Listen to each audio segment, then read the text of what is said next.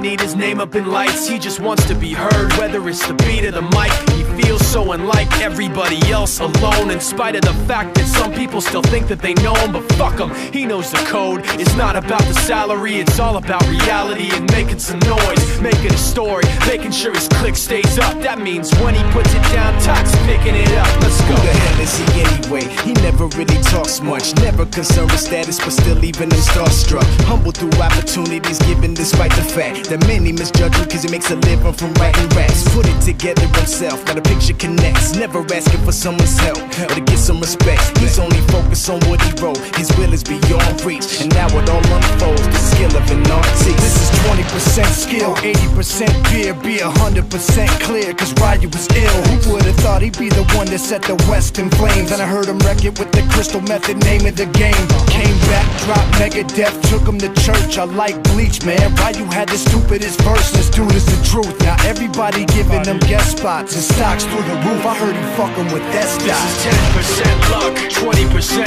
skill 15% concentrated power of will 5%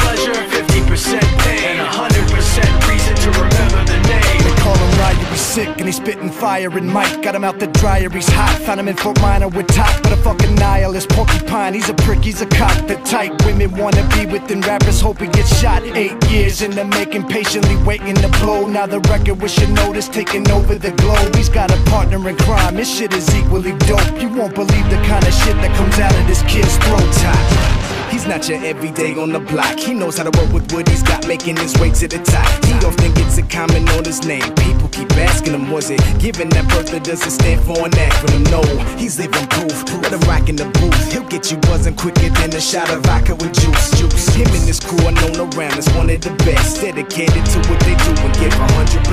Forget Mike, nobody really knows how or why he works so hard. It seems like he's never got time Because he writes every note and he writes every line. And I've seen him at work when that light goes on in his mind. It's like a design is written in his head every time Before he even touches a key or speaks in a rhyme. And those motherfuckers he